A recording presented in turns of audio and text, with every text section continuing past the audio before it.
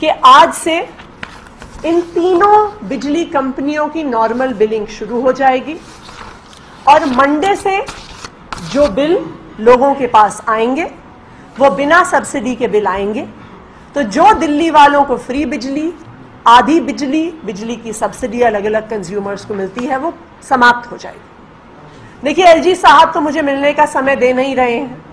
तो मैं सब मीडिया चैनल्स के माध्यम से सोशल मीडिया के माध्यम से एलजी साहब से हाथ जोड़ के निवेदन करना चाहती हूँ कि प्लीज़ ये बिजली सब्सिडी की फ़ाइल पास कर दीजिए।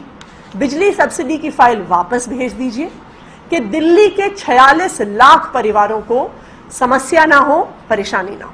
राजधानी दिल्ली में मुफ़्त की बिजली अब नहीं मिलेगी। जी हाँ राजधानी दिल्ली में 200 यूनिट तक आपको फ्री बिजली मिलती थी और 400 यूनिट तक 50 परसेंट सब्सिडी मिलती थी, वो सब्सिडी आज से बंद हो जाएगी। और इस बात का खुलासा खुद दिल्ली की शिक्षा मंत्री आतिशी ने किया है। उन्होंने बताया है कि दरअसल दिल्ली में बिजली पर मिलने वाली सब्सिडी अब बंद होने जा रही है बिकॉज़ जो उनकी फ़ाइल है, जिस फ़ाइल से वो सब्सिडी रिलीज़ करते हैं बिजली कंपनियों को, दिल्ली के एलजी के पास पेंडिंग पड़ी है और वो उस फ़ाइल को दबा कर बैठे हैं और फ़ाइल क्लियर नहीं कर रहे हैं। आम आदमी पार्टी ने दिल्ली की जनता को बड़ा झटका देते हुए बिजली पर दी जाने वाली सब्सिडी बंद करने का ऐलान कर दिया है। दिल्ली की ऊर्जा मंत्री आतिशी ने इसकी जानकारी दी है और ये कहा है कि अब सब्सिडी नहीं दी जाएगी बिकॉज़ फ़ाइल पेंडिंग है। फ्री बिजली सब्सिडी बंद करने का मुख्य कारण ये है कि सरकार ने आने वाले वर्ष के लिए सब्सिडी जारी रखने का निर्णय लिया था, लेकिन वो फ़ाइल दिल्ली के एलजी साहब के पास है और जब तक फ़ाइल वापस नहीं आती, तब तक आम आदमी पार्टी सरकार सब्सिडी वाले बिल जारी नहीं कर सकती।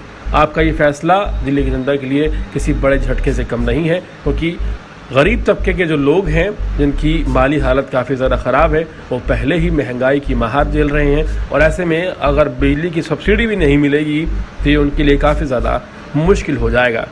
हालाँकि इस आरोप के बाद दिल्ली के एलजी का कहना है कि ये जितने भी आरोप लगाए हैं, निराधार हैं और झूठे हैं और उनके पास दरअसल फ़ाइल 11 अप्रैल को भेजी गई और 13 अप्रैल को चिट्ठी लिखकर प्रेस कॉन्फ्रेंस करके उनके ऊपर दोषारोपण किया गया, जबकि समय सीमा 15 अप्रैल थी। तो ऐसे में जहाँ एक तरफ़ बीजेपी है केंद्र में, दूसरी तरफ़ आम आदमी पार्टी है। दोनों एक दूसरे पर इल्ज़ाम लगा रहे हैं, लेकिन इस महँगाई के दौर में अब आम आदमी की जेब पर कैची चलती हुई नज़र आएगी और सब्सिडी ना मिलने का नुकसान गरीब आदमी को भुगतना पड़ेगा।